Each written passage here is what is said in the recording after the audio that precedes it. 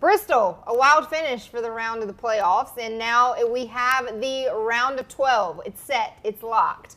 But we also have 19 winners on the season.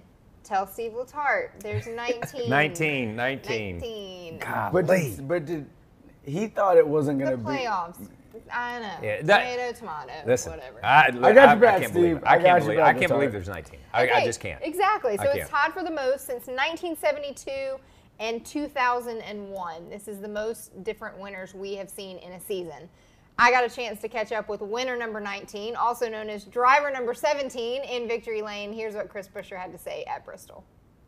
This is one that, that's been on top of my list. I'd take this over any other win that we, any other racetrack we go to. This is this is the one for me. So, just uh, so appreciative of this group, everybody on this Fastenal team. Get Fastenal victory lane, a points race finally after all these years.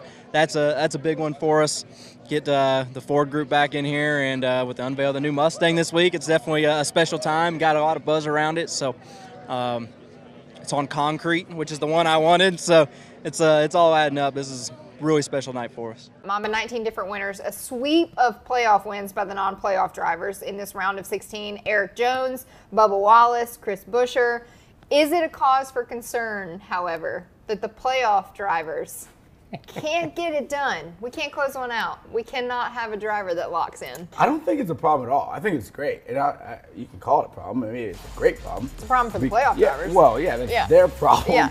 But if you're these other guys and these other teams, you should be excited that you're competing at such a high level, and it really makes it to where you look at it in this car and the product that we have now. It is showing up, and the the level has been equaled, and that's what we want. We want more teams to be able to win, more drivers to be able to win. I am loving it, and now you got to navigate that. Yeah. And now, now it's not just okay. We're kicking people out of the playoffs, and you got to navigate those fast guys. Yeah. You got to navigate through 20 to 22 good cars, Fact. now, and it's Yeah. great. Uh, and and I love this. I love this for one simple fact. Once they started the playoffs, the chase, whatever you want to call it, all the teams that didn't make the playoffs, Mm-hmm. their sponsors would say, "Well, we never get any publicity. We don't get anything." Now they're getting all the publicity. Oh, yeah. Yeah. They're getting all Yeah, of it. I so it shows the sponsors and the partners in the sport that just because your team doesn't make the playoffs, you can still be a factor. Yep. That's the best. For me, I think that's big for the sport. So I talked to your dad when we were at Bristol, and, and RP said, I asked him to win one of the 26, and of course he wins the 27. Talking about Erik Jones. Yeah. So just from an organization side of things, does it mean less when you win No. and it's not a playoff win? There is no, there is, there is not a lesser hmm.